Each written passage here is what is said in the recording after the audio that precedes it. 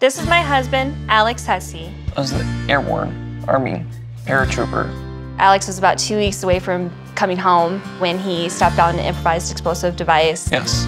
Um, AKA an IED. yeah, uh, and he uh, was the one that stepped on it, so blew, Yes, I was point man yeah, blew his legs off uh, in my left hand. and his left hand, uh, and he suffered a severe traumatic brain injury. Yes. Uh, and after that, he spent six months in a coma.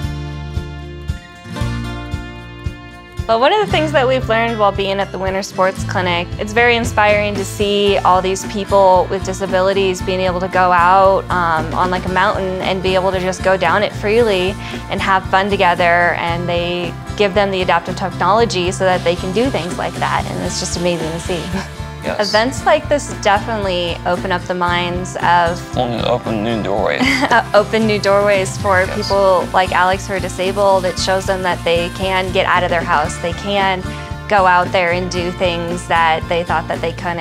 And uh, programs like DAV are helping them find those opportunities for them. my favorite part of, part of the Winter Sports Clinic has been all of it.